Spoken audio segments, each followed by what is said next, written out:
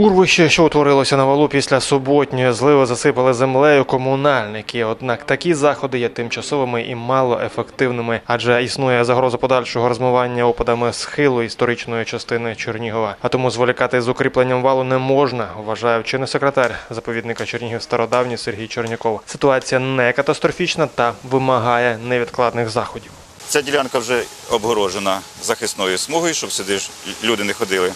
От. Але разом з тим треба робити інженерні укріплення. Тобто треба робити і водовідведення, бо якщо знову такого типу будуть опади, а ми врахуємо, що за кілька годин випали місячні опади, і, звичайно, такий потік, навіть те, що було минулі роки зроблені такі от водовідведення не врятували.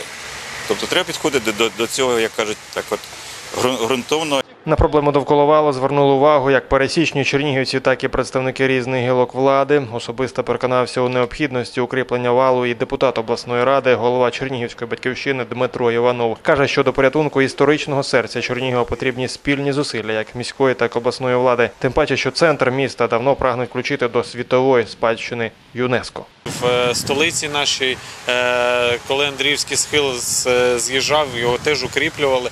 Ну, потрібно, мабуть, що і сітку е, поставити, і колодязі поставити для того, щоб вода могла виходити, і звичайно укріплювати схил. І всі ці проблеми потрібно вирішувати і міській владі, і обласній владі об'єднуватися в даному питанні. Я думаю, що депутатський корпус в будь-якому разі підтримає. І думаю, що всі об'єднаються під цим. І звичайно потрібно звертати на це увагу держави, бо е, звичайно це е, історична спадщина нашої країни. Небезпека подальшого руйнування загрожує не тільки валу й іншим культовим історичним місцям Чернігова, Болденим горам, територія навколо Єлицького монастиря. Тому консолідація зусиль зараз потрібна як ніколи.